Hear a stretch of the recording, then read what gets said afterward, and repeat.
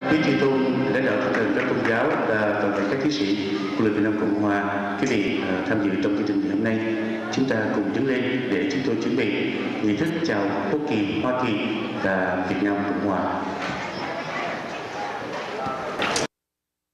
Chúng tôi xin trân trọng kính mời tất cả quý vị hãy nghiêm chỉnh đứng lên để làm lễ chào quốc kỳ, Hoa Kỳ. Nghiêm! Lễ chào quốc kỳ Hoa Kỳ bắt đầu.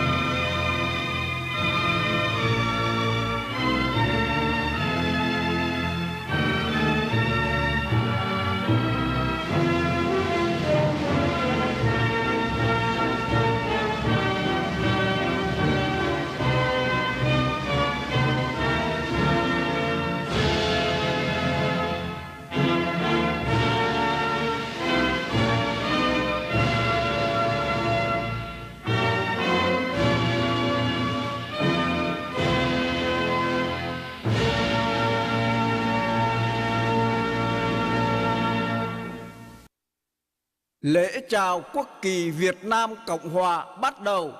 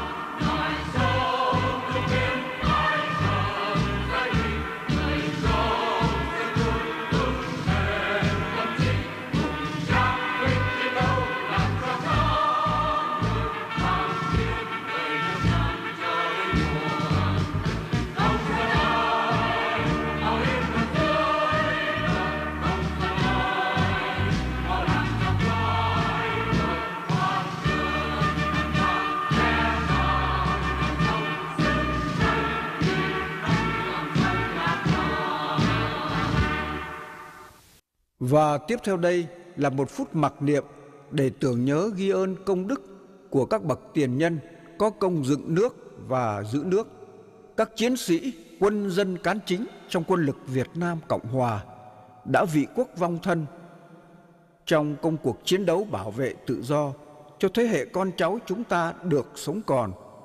Và các đồng bào đã bỏ mình trong lao tù trong rừng sâu và đã bỏ mình trên đường vượt biển tìm tự do phút mặc niệm bắt đầu.